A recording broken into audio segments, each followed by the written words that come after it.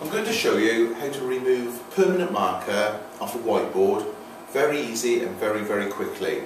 All you need to do is get yourself a standard dry wipe marker, scribble all over the permanent mark on the whiteboard